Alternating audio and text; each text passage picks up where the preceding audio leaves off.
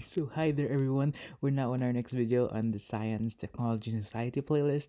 And in this batch of videos, actually I'm going to create a lot of videos, um, maybe four or five more right after this, about us when technology and humanity cross.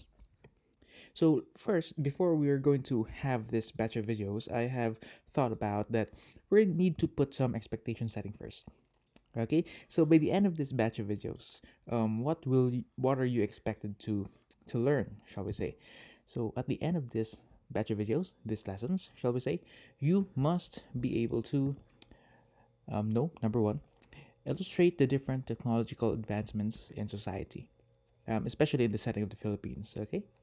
Number two discuss the development of the science and technology in the philippines specifically and discuss the effects of the interplay between the technology and humanity through the dilemmas that they face.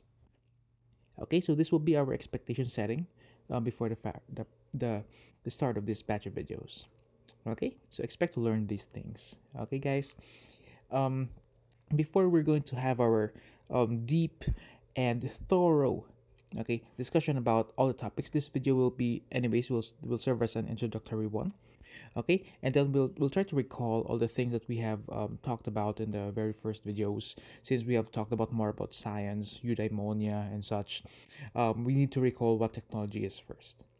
So definition of technology i would just need to go back to this to these um, words where the word technology came from. Okay? Came from the word again techne and logos. Okay? Techne and logos. So we have talked about this in the very first video. And um, according to Buchanan, way back in 2010 this is a discourse on art. Okay technology is just a discourse. Okay it's a discourse on art. Okay when you talk about technology you will think about all sorts of things machines machinery factory um, application of science. You know if you can remember in our first video technology is the application. Okay the direct application of science. Okay so concepts like machines and tools were also attached to the word, word technology, right? So that's when you talk about technology, it's a discourse of art, it's an application of science. Okay, came from the words techne and logos. So, in one way or another, if you will believe in me, okay, if you will try to think of this, each person in society, including you and me, okay, is directly or indirectly affected by technology, whether we, um, society, each of us, he or she, wills it or not. Okay, so most people survive their everyday lives with great reliance to the different te- to different technological advancements uh, are already available in the masses. So, um, especially in these times, we're in this, situation that, um, like everything, we need to connect, even though we don't need to be there physically, right? Given this this situation right now, so we are um, I think we can all agree that we have a highly and great reliance on technology nowadays. So with this, um, we can see that, that that technology plays a very vital role. So um, in that in that sense, technology is already an inevitable part of society. So it cannot be cannot cannot go away. It's it's really a big part now of society okay so with this with this in mind so there's just one question to ponder. Okay with that in mind is now technology how um in your own perspective in your own um, understanding shall we say is technology nowadays a necessity or a want? Hmm maybe you can you can ponder that a moment or two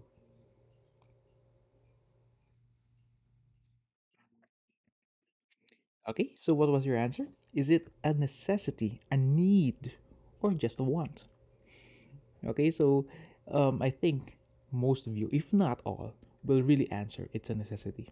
And indeed, it is true that it is indeed a necessity nowadays. So, with this, what does technology offer us? Okay, among others, there are just here are just four um, that technology can offer us. Okay, just four out of the very many, many. First is convenience. The convenience in what? Convenience in, say, maps. Just one simple example. in your gadgets. There are maps there. Um, in in traveling, transportation, technology is there. Machines, right? Factories, in everything, actually in our society. Okay, technology offers convenience. Number two, technology offers pleasure, entertainment. Okay, in our smartphones right now, televisions, okay, laptops, cinemas, they're all part of technology.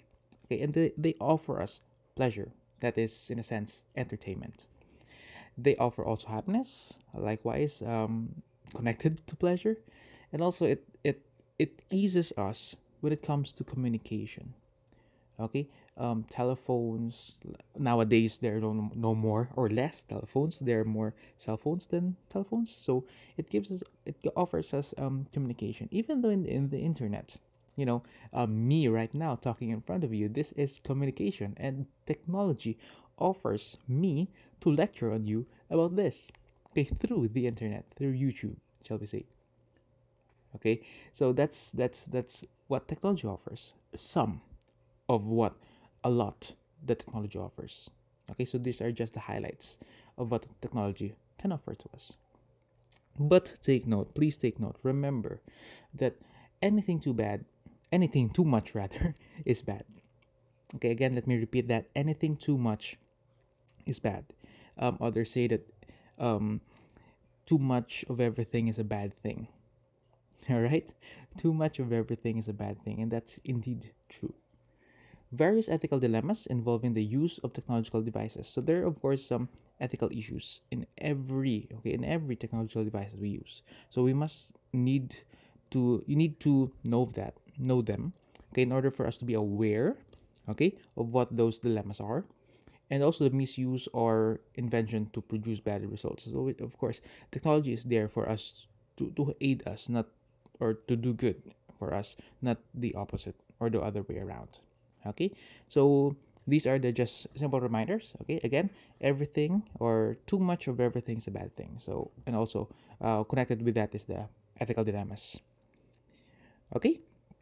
So actually um, this is just an introduction introductory video like i said. Um, next batch in our video we're going to talk about television sets mobile phones computers and humanity. Together with computers we want to talk about laptops okay? Now um, this is our our shall we say table of contents. Our batch of videos that we'll be creating for this um, when technology and humanity cross. First we're going to talk about technology or rather television rather. And then we're going to follow it up with mobile phones and then computers and laptops. And um, this will be one video okay? Television mobile phones and computers and laptop laptops. Um, the ethical dilemmas involving these things above are or is going to be another video or we'll see. We'll see in the future what can we do. Also we need to take care and talk about robotics and humanity. And after that we're going to talk about the ethical dilemmas faced by robotics. Okay so this will be our like i said our table of contents our course guide uh, as far as when technology and humanity cross. Okay so we're going to have i'm going to create like um i don't know um maybe three to four three to four videos um, regarding these topics below. So yeah um surely we will take care of those. Okay i will take care of those and i will lecture them to you. Okay? So yeah i think that's it for this video. This is just an introductory one so this is the end already of when technology and humanity cross. Again under our playlist in the science technology society so thank you very much for watching. I hope that you would like this video and subscribe to my channel. Um, when you subscribe, you will surely um, get in touch with the with the latest um, content that I will be creating, and I will be creating more about science, technology, and society for sure. Okay, so thank you very much.